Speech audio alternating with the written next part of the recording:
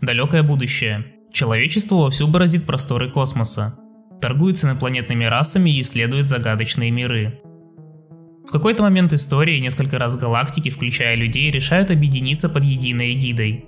Так появилась Федерация, построенная на принципах взаимопомощи, свободы и равенства для всех ее жителей. Однако далеко не каждого устраивали такие идеи. Множество людей считало, что Федерация со своими принципами лишь тормозит их развитие. Так постепенно появляются повстанцы, которые начали захватывать сектор за сектором. Организация настолько выросла, что нанесла флоту Федерации множество сокрушительных поражений. На момент действия игры остатки былых армат сосредоточили в одном секторе, называемым последним оплотом Федерации. Остальные силы были разбросаны по всей галактике и легко уничтожались огромной волной повстанцев. Вы – капитан одного из таких немногих уцелевших кораблей Федерации, и у вас на борту данные, которые могут перевернуть ход войны. Привет, меня зовут Лурферк, и это история одного корабля. Крейсера «Сокол» некогда составляли костяк флота Федерации, но сейчас большинство из них списано. Тем не менее, его огневой мощи и маневренности при должных улучшениях должно хватить, чтобы добраться до последнего оплота, до которого «Сокол» улетит еще 7 секторов. Но для любых улучшений нужны ресурсы, в частности лом, который можно собирать из вражеских кораблей и астероидов, как раз после прыжка сканеры Сокола замечают корабль повстанцев с ценным грузом, который было решено отобрать силой.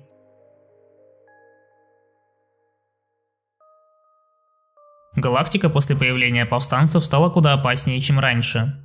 Но даже помимо них угрозу всегда представляли наемники и пираты. Но с первыми хотя бы можно было договориться. А отдельную ненависть вызывали работорговцы.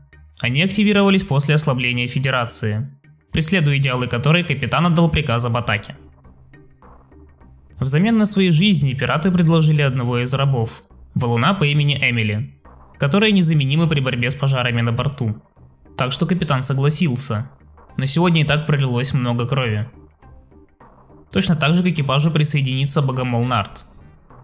Когда-то в прошлом, еще на заре Федерации, разразилась ужасная война между людьми и богомолами. Потери с огромных сторон были огромными, Богомолы по-прежнему не могут смириться с поражением. А в семьях людей и детям все так же рассказывают истории о жаждущих крови богомолах, чьи корабли когда-то атаковали Землю.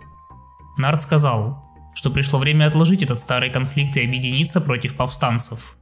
Но не все бы с ним согласились. Сразу после очередного прыжка приборы Сокола обнаружили наличие уникальных разумных форм жизни на ближайшей планете. Капитан отдал приказ входить в атмосферу планеты – Корабль приземлился в поле, в котором паслись шестиногие существа, чем-то похожие на земных лошадей. Но контакт установить не удавалось. Лишь перед взлетом одно из существ отводит экипаж к разбившемуся кораблю Энджи, где был лишь один выживший, который тоже решил стать частью команды Сокола. С его звездолета удалось снять довольно мощный лазер. Сокол стремительно приближался к первому маяку дальнего действия. Было решено лететь в сектор валунов, которые весьма агрессивны к тем, кто нарушает границы их пространства. В ходе очередной битвы с работорговцами к экипажу присоединяется представитель расы Золтан по имени Грозоли, характерной особенностью которых является генерация собственного электрического поля, запитывающего отсек или систему. Это позволило полностью использовать новые двигатели корабля. Перед прыжком к следующему маяку дальнего действия экипаж обнаруживает остатки миноносца валунов, одна из мин которого все еще была активна. Был предпринят маневр уклонения, но мина закрепилась на корпусе Сокола. Попытка аккуратно подорвать мину тоже не удалась, но благо никто не пострадал. И после небольшого ремонта корабль двинулся дальше.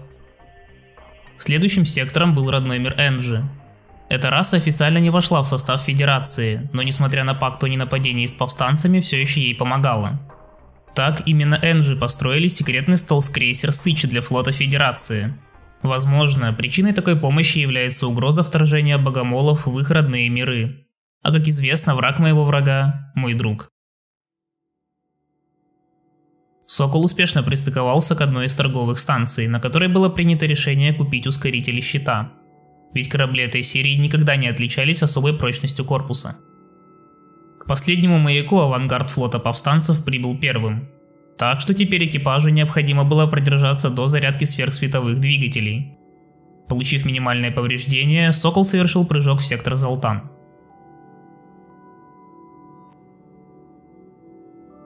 Золтане часто полагаются на дипломатию вместо применения силы. Поэтому они весьма двойственно относятся к Федерации, как и ко всем людским конфликтам. Также являются союзниками Энджи. Эти две расы стоят на острие технологий. Так, Золтанами была изобретена уникальная технология щита, которая устанавливается на все их крейсеры. На поверхности одной из планет экипаж замечает огромный монолит, а на связь выходит древний Золтан. Вы нашли Великий Глаз. Взгляните в его глубины и получите то, чего заслуживаете.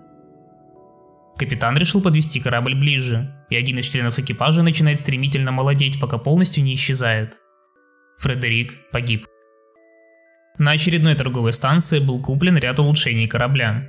Быстрая перезарядка для орудий, а также отсеки контроля разума и резервных батарей. Еще был проведен ремонт обшивки.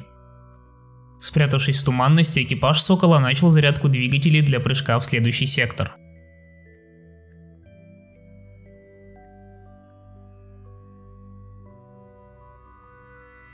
Очередной раз Сокол был атакован миной валунов. «Полный назад», – скомандовал капитан. Несмотря на вой инерционных компенсаторов, кораблю удалось уклониться от мины. К следующему торговому посту корабль долетел на остатках топлива, так что необходимо было заправиться. Без опытного оператора двигателей, коим был Фредерик, будет нелегко, потому в экипаж наняли замену – человека по имени Уэстон. У маяка дальнего действия Сокол вступил в бой с крейсером Слизней. Их раса зародилась в глубинах океана, где видимость очень слабая, что привело к развитию уникальных эволюционных механизмов, таких как телепатия. В результате все корабли слизней строятся без сенсоров, а сами они неуязвимы контролю разума. Силы Федерации были разбросаны по всем секторам. С одним из таких поврежденных кораблей экипаж и попытался связаться, но в туманности скрывался истребитель повстанцев, который быстро обнаружил Сокол. Выигрывая время для своих товарищей, экипаж вступил в бой. Туманность не могла скрыть Сокол от надвигающейся армады повстанцев, которая была подготовлена к боевым действиям даже в таких условиях. Так что, достигнув очередного маяка, был совершен прыжок в сектор Золтан. Сектор уже был практически занят повстанцами. Оставаться тут было крайне опасно. Последняя закупка перед оплотом Федерации. Было приобретено и установлено крайне мощное вооружение, которого так не хватало кораблю. Орудийная рубка и щиты были улучшены до предела. Последний маяк перед прыжком к оплоту. Корабль с начала путешествия стал значительно мощнее, а его экипаж представлял собой главную идею и цель Федерации – объединять усилия всех рас ради безопасности всей галактики. Сразу после прыжка на связь выходит адмирал Тули.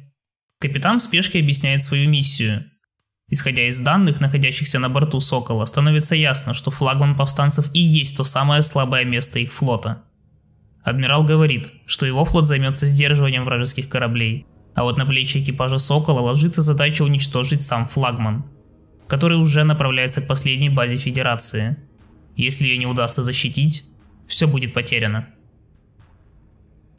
Капитан, проложив курс прямо на базу, понимал, что в округе осталось еще множество форпостов, которые спасти не получится.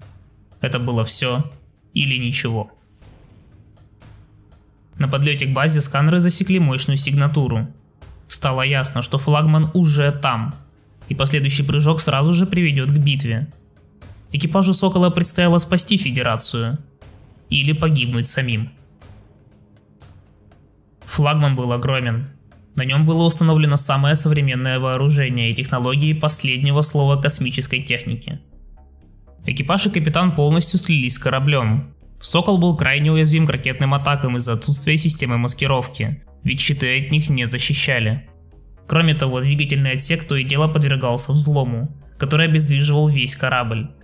Но залпы вооружения Сокола тоже наносили существенный ущерб и флагману пришлось отступить а экипаж получил время на передышку и улучшение вспомогательных систем, таких как сенсоры.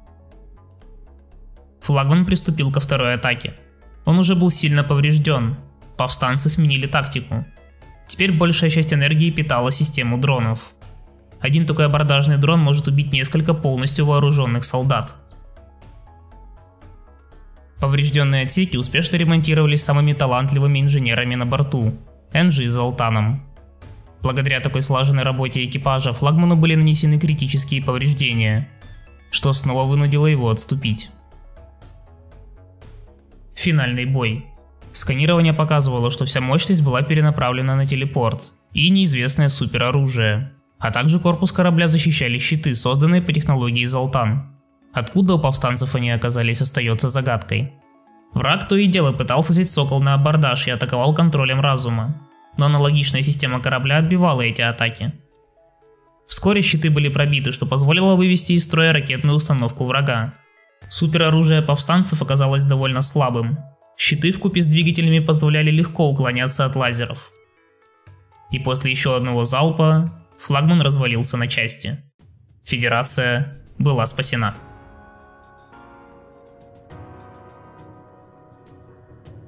Так закончилась история корабля «Сокол» и его экипажа, который подарил Федерации вторую жизнь. Спасибо вам за просмотр. С вами был Лурферк. Еще услышимся.